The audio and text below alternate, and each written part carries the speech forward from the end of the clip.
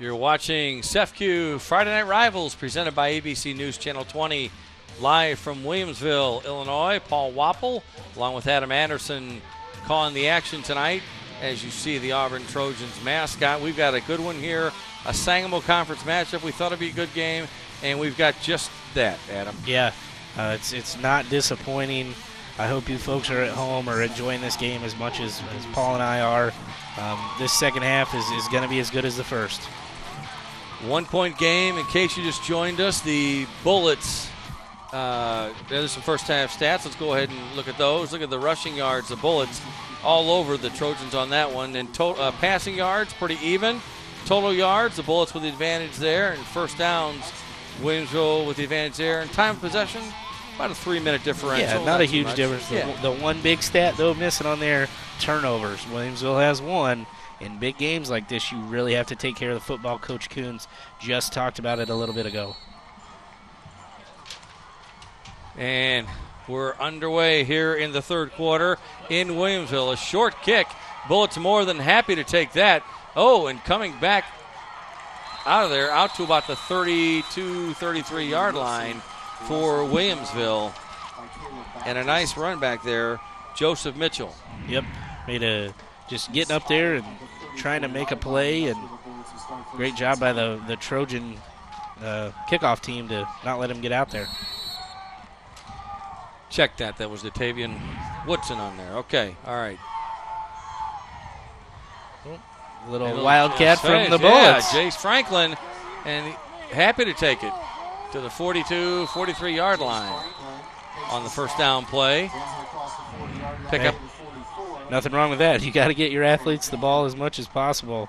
Good job by Franklin. What makes him a special runner is no one guy brings him down, not the first guy. He keeps his legs moving, he has a good balance, and that's really what makes him a special ball carrier. Ferrier looking to the sidelines. Got Franklin to his left. There's the handoff again to Franklin. Barrels his way through, breaks a couple of tackles, down across midfield, and good for a first down. And that is a Brandt Professional Agriculture first down. You know what? They might have made some adjustments. Adam Ibbotson, offensive coordinator, said, "Hey, we're just we're going to get the ball to Franklin as much as possible. He's a special player. Let's see what happens here." The pitch to Franklin. Gain of about one, maybe two at the most on Yeah, the play, maybe just one. He made a good play just to get back to the line of scrimmage. Great job by the Trojan defense to really fly out there and cut off all running lanes. Uh, he had nowhere to go. If you like fast paced high school football, this is the place to be this evening. Second down and 10. Handoff again. Nothing doing. Maybe get back to the line of scrimmage. If if I'm Auburn, you got to be thinking there's been a lot of runs. Williamsville might be setting you up for a little play action pass.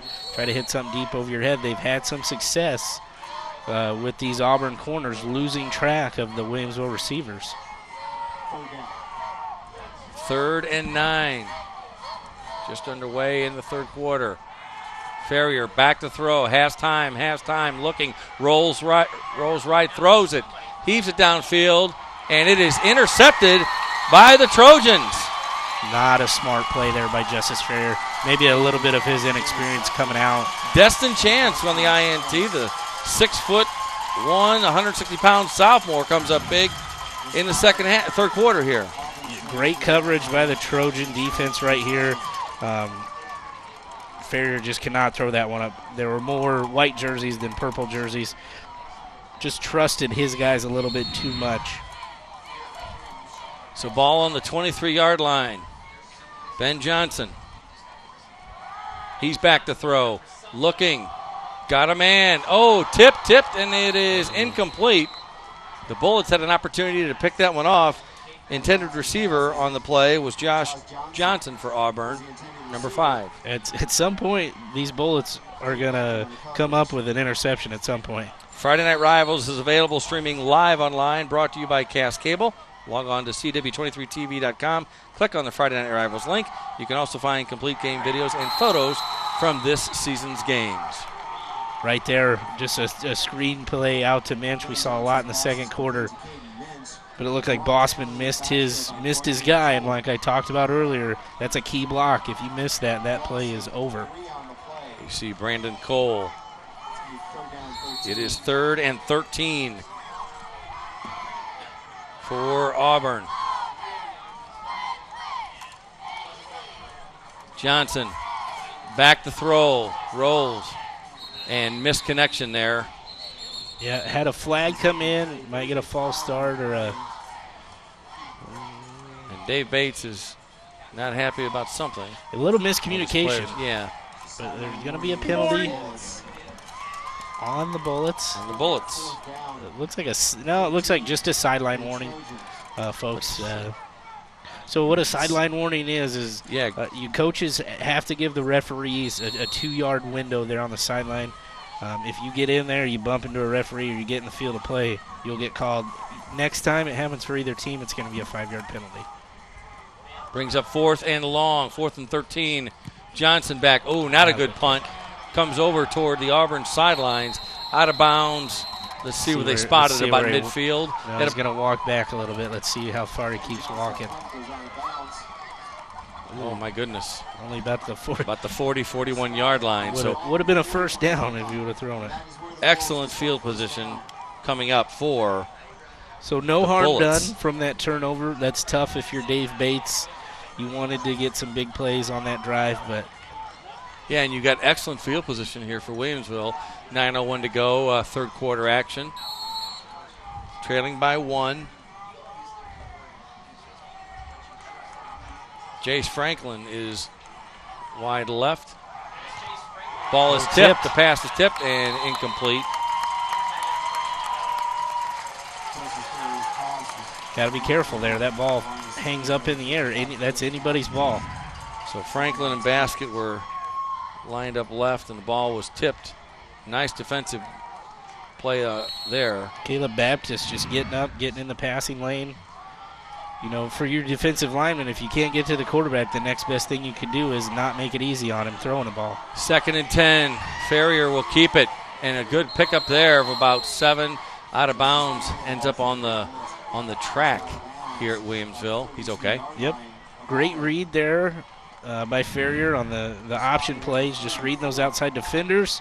Everybody looks at Franklin and just pulls the ball and takes off. Brings up third and three from the 34 yard line. Franklin in the backfield. Ferrier looks. Getting the play called in from the sidelines. Maybe changing the play. Ferrier back, looks left. Ball is tipped and incomplete. I believe it was tipped at the line of scrimmage. Yep. 55, Caleb Baptist again. You know, if you can't get back there and get a sack, just get your hands up. It works. So brings up fourth down for Williamsville. It's a big play right here. Fourth and three. Ferrier looks right. He's got Franklin. Franklin breaks a tackle to the 35 33. Good for a first down, and that is a Brandt first down. Well, uh, I think he might not have got a very generous spot right there. From up here, it looked like he made it, but that is going to be a first oh down for Auburn. I stand corrected. I think it, when I he got tripped up, I think his knee clipped the ground, and that's we couldn't see that in, instead of the re, saw it there on the replay. But all right, so Auburn now gets a chance from the 32-yard line. And a whistle. A little hip start. Yeah. Johnson. Yeah. Full foul, full start, offense. Full start on the offense. You know, both both these teams going at that really fast pace. Uh, you got to have depth because you're, especially for the bigger guys, they're, they're going to get tired. They're going to wear down. Really, it could be a battle of who's in better shape here towards the end of the game. Good point. First and 15. Johnson back, fakes, now goes across the middle, and it is almost picked off. Oh my goodness. almost picked off. The Bullets had a chance there, a golden opportunity by number 21, Cade Beckett. Cade Beckett, he's had three interceptions in his hands and just hasn't been able to come up with it. You got to think at one one of these times he's going to come down with an interception. But the Bullets need him to make a big play, and really swing some momentum back. So second and 15 after the incompletion. Fakes to McLaughlin, keeps it now. Johnson does, and he's out to about the 34 yard line. Good run there by Ben Johnson. Coach Bates will tell you himself he's not the runner that Drew Chance was last year. Uh, he's going to try to hurt you with his arm, and we've seen that here tonight. But he is a capable runner, and you have to have that back there to really keep this Bullet defense honest. Pickup of about six, third and nine. Brendan Cullerton, what do you have for us on the sidelines? Brendan? All right. We'll check with Brendan in just a second. Johnson back under pressure now rolls away. Scramble's going to keep it now. And he's out to about the 48 yard line. Is Ben Johnson, the senior quarterback for Auburn. Just a broken play. Uh, Bullets didn't keep contain on that backside. He eluded a defender right there, and a good job by Johnson to get what he can get. And that is good for a Brandt Professional Agriculture first down.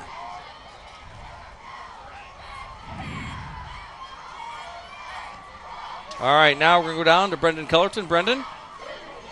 Well, I heard you guys talking earlier about maybe fatigue playing a role in this game at some point. At halftime, I was talking with the Williamsville athletic director who pointed out if you look at those rosters, Auburn's got a lot more players going both ways on offense and defense. So if fatigue does become a factor, maybe a little more so for Auburn.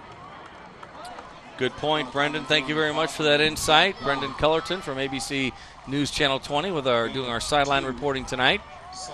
Yeah, that's a, a great point. Williamsville does have a little bit more depth um, to where they don't have to platoon, as they call it, where a guy plays offense and defense.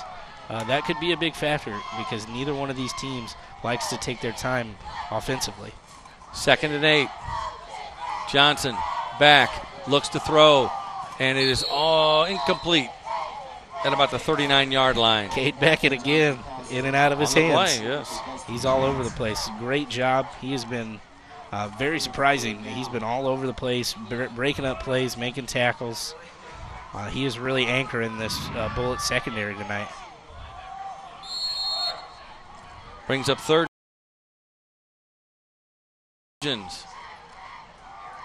Wearing their white and blue tonight. Johnson back. Looks left, going deep. Oh, couldn't quite get his man, and he was bumped late, but Yep. couldn't catch it. Uncatchable catchable. ball. Yeah, uncatchable ball. They just crossed up feet. Destin Chance, the intended receiver on the play for the Trojans, brings up fourth down and a probable punting situation for the Trojans. Again, Woodson is a dangerous returner. Let's see if they maybe keep it away from him. He's got to be smart. He picked up that punt, and it almost was bad news, but let's see what happens here. So Datavian Woodson back to receive the punt. Johnson gets it away. Pretty good punt, too. Chases Woodson back, who bobbles it, drops it, picks it up, and is on his feet and going. Picks up a few yards and is finally brought down at about the 19 yard line. So, Going to give a coach a heart attack Yes. on those. absolutely. Watch the replay here on this one. You take Chased up- him back with a good punt there. now, as a coach, Johnson. you you teach all of your your punt returners do not run backwards to catch a punt, especially if you're near the 10 yard line. That's kind of like if there's a fence there, you don't go past it. So, good job by Woodson to make something out of nothing. But again, pro- Coach Coon's heart probably stopped there for a second or two as he bobbled that, uh, but it didn't didn't do anything. Third quarter action, 6.20 to go. And we are going to take a short break. You're watching CEFCU Friday Night Rivals, presented by ABC News Channel 20. Welcome back to CEFCU Friday Night Rivals, presented by ABC News Channel 20. Paul Wapple and Adam Anderson bringing you the action live on CWTV 23 We've got a good one here with 6:20 to go in the third quarter. The Auburn Trojans over the Williamsville Bullets 14 to 13. First down and 10 from the 18 for the Bullets. On the keeper, up the middle, left side now gets breaks a couple of tackles and a pretty good pickup there for the quarterback Justice Ferrier. Yeah, they haven't called his number a lot tonight, but when they have, he's, he's done some damage. Uh, had a few big runs against Riverton last week. He's not afraid to put his shoulder down and, and really get into defenders. That's a good first down play by the Bullets. Gain of eight brings up second and a couple. Ferrier back to throw, looks right. Oh, tipped and almost picked off by the Trojans, and they are frustrated. We've seen a little frustration on both sides tonight. Destin Chance had an opportunity there for the INT. Yeah, he was Didn't quite that get it. He came up big there on that first drive with the interception. Had his hands on that one. Third and two. For the Bullets.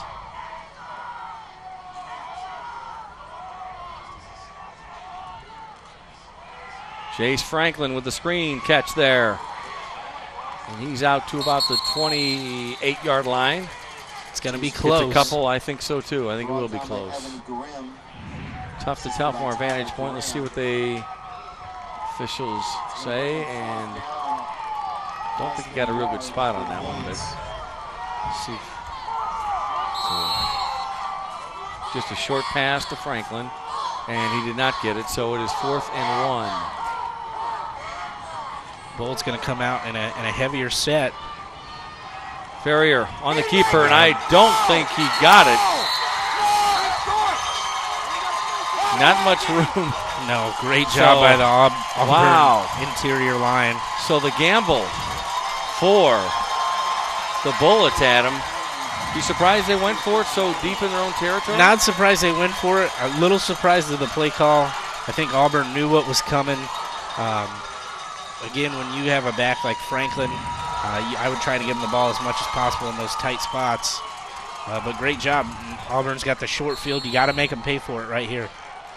So first down and on the 27 of Williamsville for Ben Johnson and the Trojans. Fakes to McLaughlin. Johnson keeps it. Barrels his way down to about the 22 yard line. Gain of about five on the play. Calling Johnson's name a little bit more here in the second half. Maybe they saw something um, at halftime that there was a little bit of an opening there. Again, you have two good backs in Grimm and McLaughlin that haven't had much room to do anything tonight. Second and five. Shotgun. Formation for Johnson. Johnson's going to keep it himself again. Barrels his way down again. And that is good for a Brandt. First down, Brandt Professional Agriculture. So it's working, so why not do it again, right? Yep. Why not? Johnson's having a a really great game here in the second half. Ball is on the 22 yard line.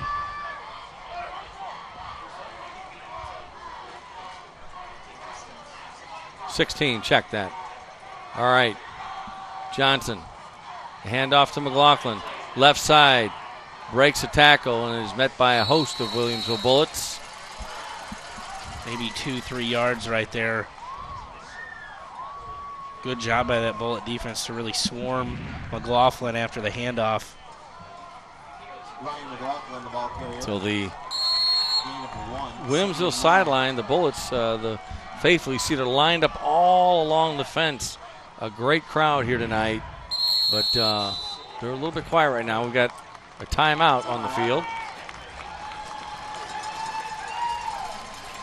So we're going to take a short break. You're watching CEFCU Friday Night Rivals presented by ABC News Channel 20. Back in just a minute. Stay with us, everybody. Welcome back. You're watching CEFCU Friday Night Rivals presented by ABC News Channel 20. And right now, we'll take a look at our CEFCU Smile Cam. Smile, hey, I'm on TV. look at that. All right. Some of the Auburn faithful enjoying the game tonight.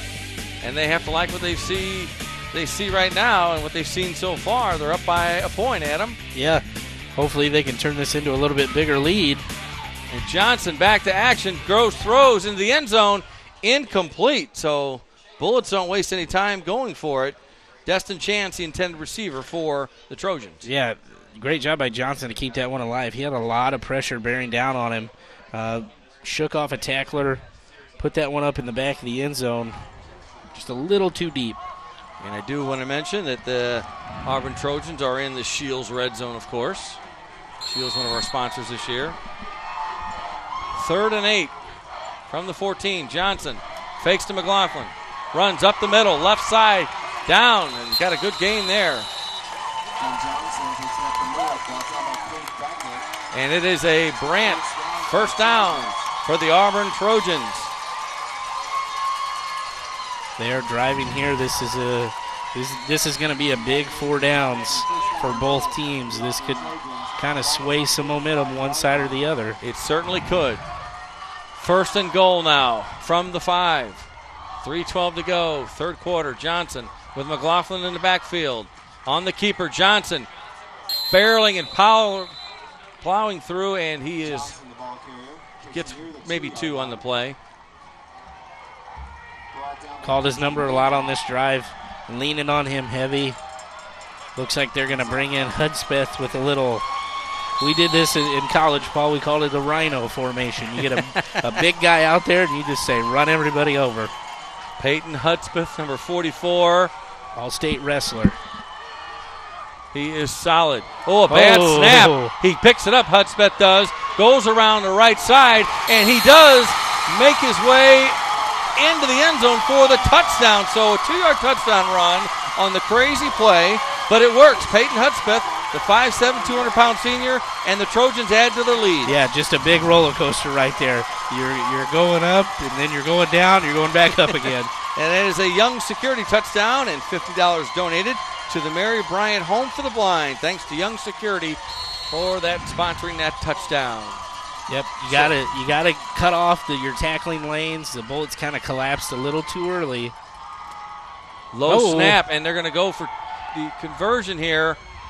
Rolling right, now throwing way back left, which is tough to do. And it is, is it caught in the end zone? Yes, it's caught in the end zone by Sidney Landers, I believe, number 40. Yes. So the two point convert, two crazy plays work out, and things are going Auburn's way. yeah, things are definitely going Auburn's way. You know that is a, a, a big big swing. Now it's a nine point game. It's not just a one score game, and maybe a two point conversion. You uh, you get scared right there.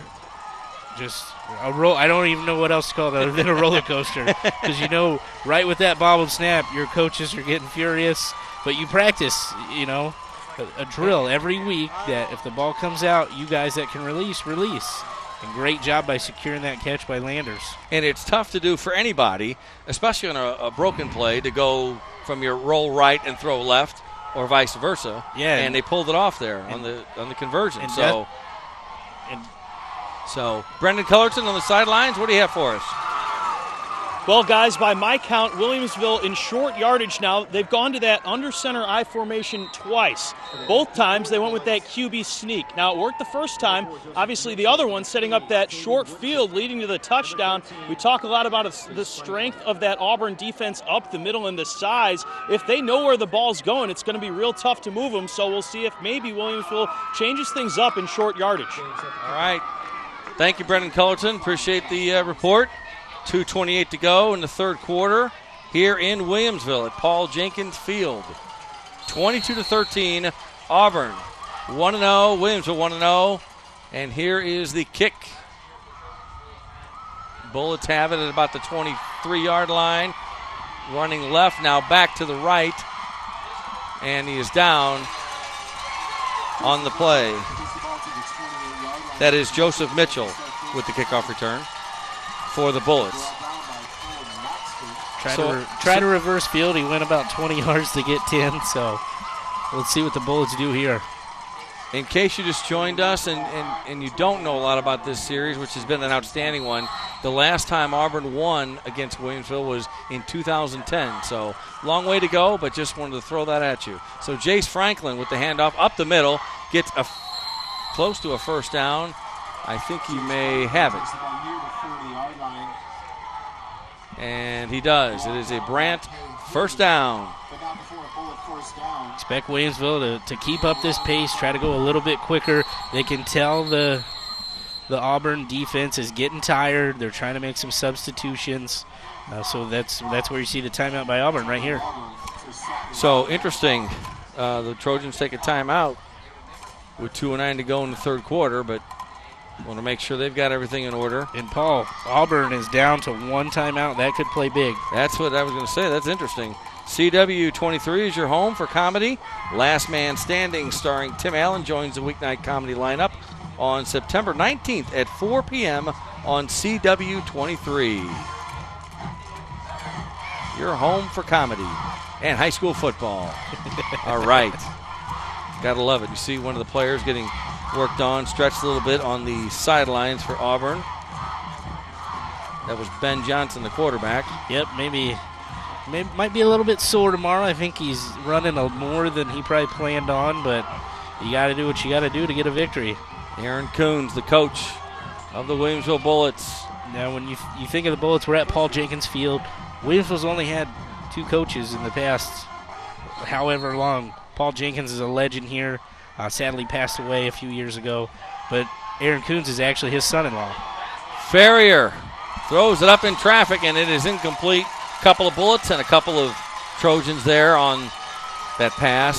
Yeah, Paul Jenkins was a, uh, great football coach, a legend here, and Aaron Coons has done a great job uh, leading the Bullets program, several playoff appearances, and talked about the runner-up uh, appearance, uh, second place in 2014. Yeah, lost on a last-second field goal. I've had the pleasure to coach with with Aaron Coons. Uh, he he is one of the great ones.